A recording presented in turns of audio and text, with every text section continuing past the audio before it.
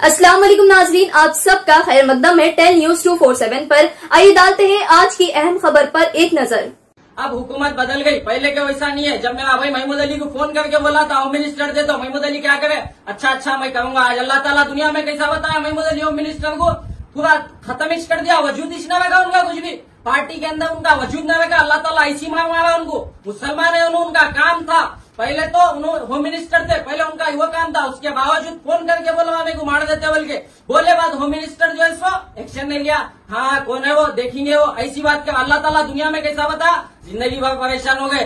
अस्सलाम वालेकुम वरहमतुल्लाहि वबरकातुहू। मैं शेख हसन बावजिर, मरहूम शेख सईद बावजिर का छोटा भाई। मेरा आज आने का मकसद एक ही है सुप्रीम कोर्ट में जो फ़ाइल करा था, जहाँ भी जा रहा हूँ लोग भी पूछ रहे थे, सबको फ़िक्र है, सबका भाई था उन्हें। इसीलिए लोगों को आज भी फ़िक्र है कि केस का हुआ क्या।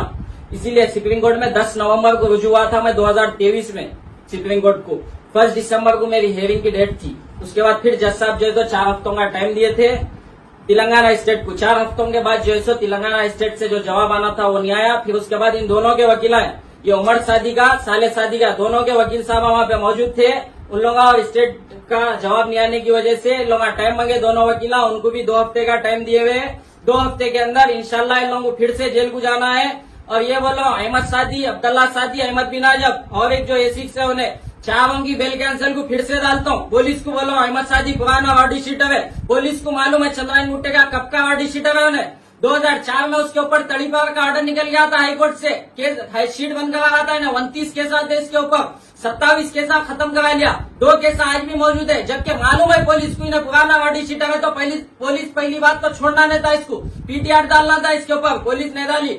अब हुकूमत बदल गई। पहले के वैसा नहीं है। जब मैं भाई, महमूद अली को फ़ोन करके बोला था होम मिनिस्टर दे दो, महमूद अली क्या करे अच्छा अच्छा मैं कहूँगा, आज अल्लाह ताला दुनिया में कैसा बताया महमूद अली होम मिनिस्टर को?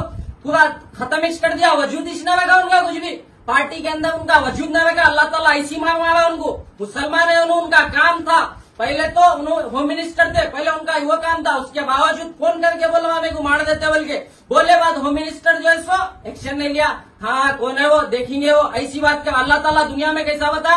ज़िंदगी भर परेशान हो गए। और ये बोलो, अब्दुल्ला सादी, अहमद सादी।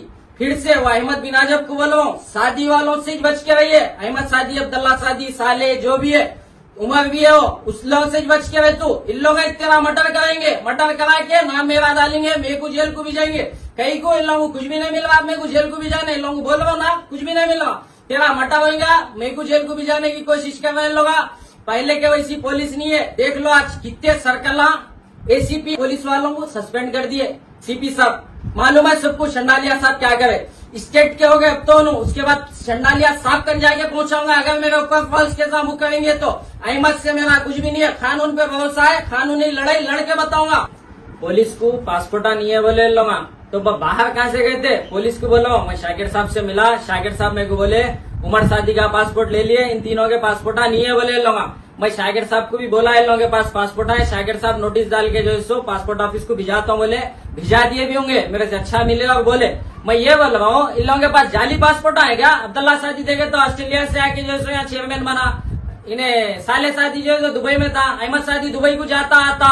तो पासपोर्ट आ गए इन लोग जाली बना लेंगे, फिर महँगा जब पासपोर्टा नहीं है। जेल में चालीस दिन रह गया है तो फिर फिर जेल को जाने डरेगा जो पासपोर्ट आने दिया पुलिस को। अब पुलिस को बोला पुलिस चाहे तो पैसा भी निकाल लेती, पासपोर्ट आए के सीज करो, फिर से जेल को जाना है लोग। करेंगे तो अहमद से मेरा कुछ भी नहीं है, कानून पे भरोसा है, कानूनी लड़ाई लड़के बताऊँगा। अहमद को बोलो इन लोगों से बच फाशनर में ले लेके फिर अब्दुल्ला शादी गुट्टे के ऊपर से पुलिस को बोलो। ये रिकॉर्ड है सोशल मीडिया के अंदर ये देख सकते, कभी भी उसका मर्डर होगा तो ये देख लेना किसके साथ फिर था उन्हें। अब्दुल्ला शादी के साथ तीन दिन पहले गाड़ी में फिफा। अगर उसका मर्डर हो गया तो हमारे जेल को भी जा देता, दुश्मनी थी तुम्हारी बोल के दुश्मनी हमारी नहीं है। कानून पे भरोसा है बरोबर लड़के उसको सजा करेंगे कानून जब तक है, कानून पे भरोसा है हमारे इन लोग साजिशा कर रहे मेरे को जेल को भी जाने की? अब कुछ भी नहीं मिल रहा। उन्हें मारा जब शादी वाले बोले, शेख को मार दे। दोस्ती के नाम पे धपाया उन्हें। पूरा दुनिया को मालूम है दोस्ती के नाम पे धपाया उन्हें। उसको मार दिया। आज उसको मारने लगा मैं। कैसे? तुम लोग क्या तो विचार है? बस्ती के अंदर। नको का वो कानून है ना लड़ो ना दो दो वकीलों को ठहरा ना।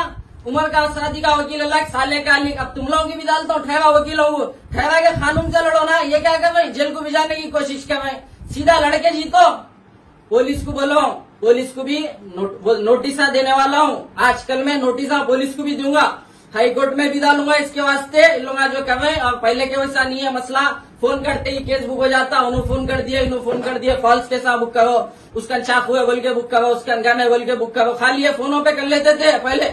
अब पुलिस जो है सो बरोबर अलर्ट है पुलिस तेलंगाना हुकूमत बदल गई, पूरी पुलिस से मैं अपील कर रहा हूँ कि इसके ऊपर एक्शन लियो, अहमद सादी पुराना रॉडी शीटर है, सब जने जानते हैं अहमद सादी कौन है, इसीलिए बोल बोलो इसको फिर से जेल को पुलिस ने भेजाएगा तो बरोबर मैं भेजाऊँगा जेल को भिजा के केस चालू कराने की कोशिश कर रहा हूँ। अंडर ट्रवाल करा के केस सजा दिलाने की कोशिश करता हूँ। और अहमद को बोल रहा हूँ, खास, इन लोगों से बच के रहे, तेरा मटर होगा तो मेरे को जेल को जाना बोले रहे इन लोग। इसीलिए शुक्रिया, खुदा हाफिज, फिर मिल